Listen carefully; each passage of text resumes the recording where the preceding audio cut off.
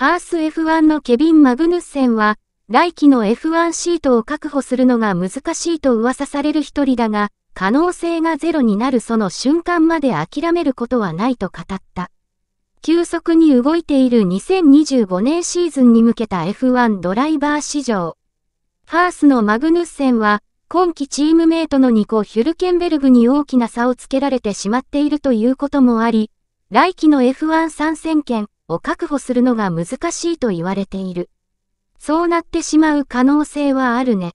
チームは僕のことを知ってくれているし、その力を今更証明する必要はないと思う。マグヌッセンはそう語る。僕はここで走り続けたいと、明確に言ってきた。チームは良いポジションにいるし、その将来にもかなり希望があると思う。だから、ハースの一員で居続けたい。どうなるかわからないけど、何かが決まるまで、とにかく走り続けるだけだ。前述の通り、今季のマグヌッセンは、ヒュルケンベルグに獲得ポイントの上では大きな差をつけられている。ただ本人曰く、運に見放されている部分もあるように感じているという。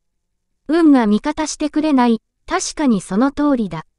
今年はペースも良かったから、フラストレーションが溜まる年になっている。今年はマシンの調子がずっと良くなった。去年は苦労していたんだけど、特に予選ではずっと楽になったような気がする。でも、本当にうまくいかない、常に向かい風が吹いているように思えるシーズンだ。でもそれも F1 の一部であり、そういうことに対してただ忍耐強く、冷静でいなければいけない。最終的にはうまくいくと信じている。F1 でのシートを確保できなかった場合、F1 以外のカテゴリーに選択肢はあるのか？